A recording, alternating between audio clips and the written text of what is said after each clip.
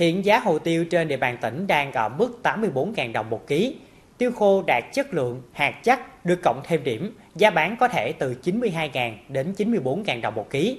Đây là mức giá cao trong nhiều năm qua, nên nông dân Bà Rịa Vũng Tàu phấn khởi vào vụ thu hoạch hồ tiêu niên vụ mới. Theo nông dân trồng tiêu, mặc dù năm nay năng suất tiêu giảm so với năm ngoái, nhưng nông dân vẫn phấn khởi vì giá mặt hàng này đang tiếp tục tăng trong những ngày Tết Nguyên đán 2024, giúp nông dân có lợi nhuận cao hơn. Niên vụ tiêu này, bình quân 1 hecta cho sản lượng khoảng 1,5 tấn, thấp hơn 50% sản lượng so với cùng kỳ năm ngoái. Tuy nhiên nhờ giá bán tiêu ở mức cao nên sau khi trừ chi phí, nông dân vẫn có lãi từ 70 đến 80 triệu đồng một hecta. Toàn tỉnh hiện có 10.552 hecta hồ tiêu, tập trung chủ yếu tại các huyện Châu Đức và Xuyên Mộc.